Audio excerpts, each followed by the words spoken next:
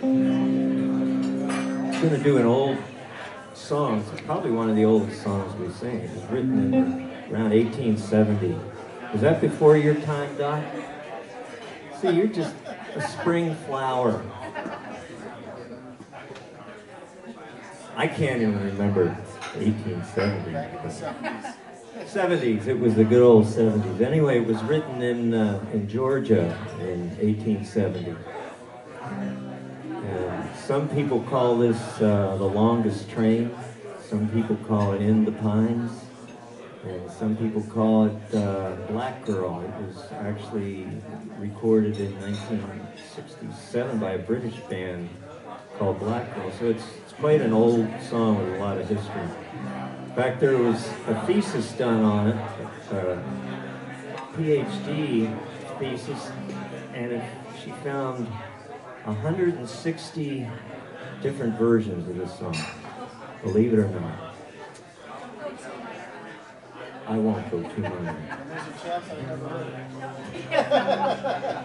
and Mikey's never even heard of this song. I never heard of it till about a month ago, so. Oh, Loretta Lynn singing on the radio. Well Loretta Lynn did. Everybody's done it. Grateful Dead's done it. Dylan's done it. Joan Baez has done it. Everybody's done it. Of course, the Carters.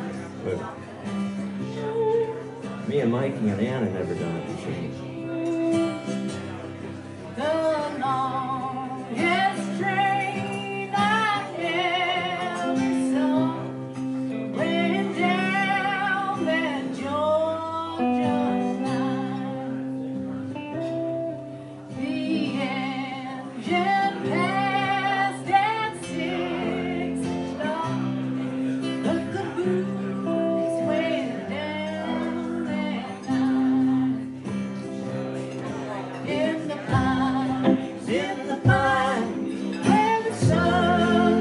ocean.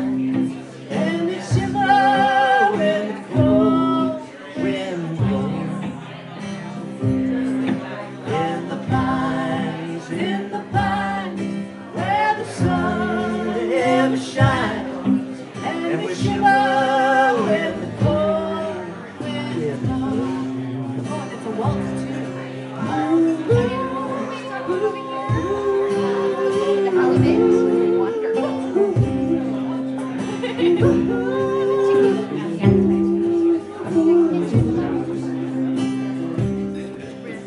I asked my captain for the time of day. He said I throw my watch away.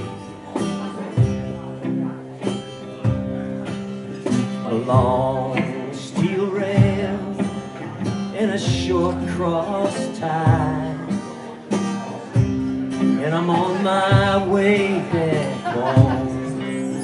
In the pines, in the pines, where the sun never shines, and you shiver when the cold winds blow. Shiver now.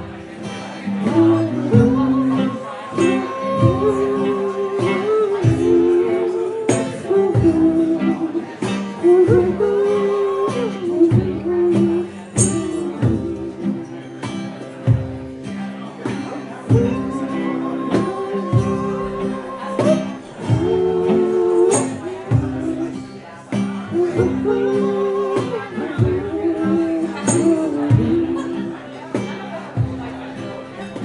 girl, little girl.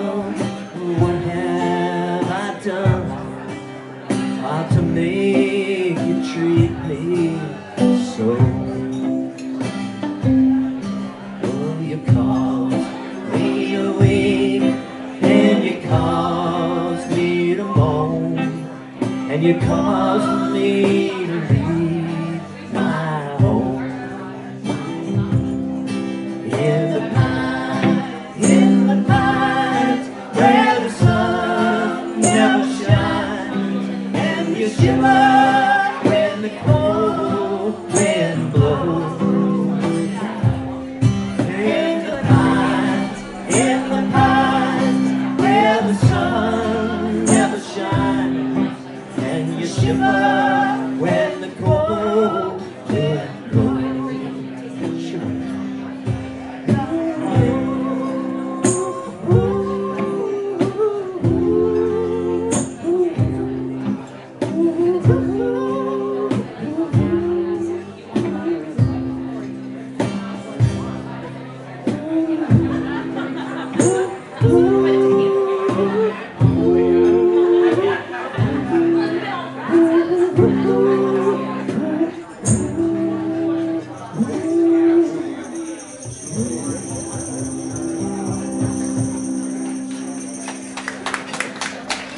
Nice waltz in there.